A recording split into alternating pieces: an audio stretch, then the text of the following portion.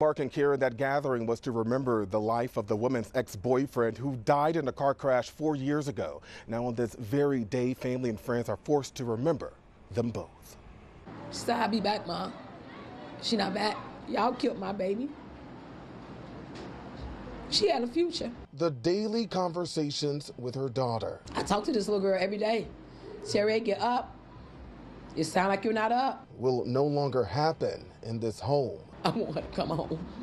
I want this to be a dream where I can go pick her up. Terry'a Adams was one of seven people shot during an overnight gathering for her late boyfriend. She was the only one who died. This picture will never fade away. All I know is when I ran across that street, she was laying by her car in a pool of blood like they slaughtered a hog.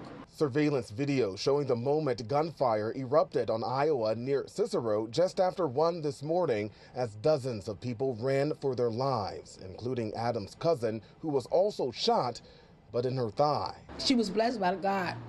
She had some earpods in her pocket. In her pocket.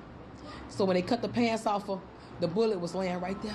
The two cousins were running together, trying to get back to Adams' car. She was like, come on, yeah, yeah, come on, yeah, yeah. And my daughter just dropped. Security video also capturing the alleged gunman dressed in jeans and a white top as he opened fire before running away, turning the street where generations gathered. Iowa is the block they grew up on, so they come there. Now to a spot with lingering trauma. It's gonna kill me to wake up every day, to pull up at my house while my baby was killed across the street.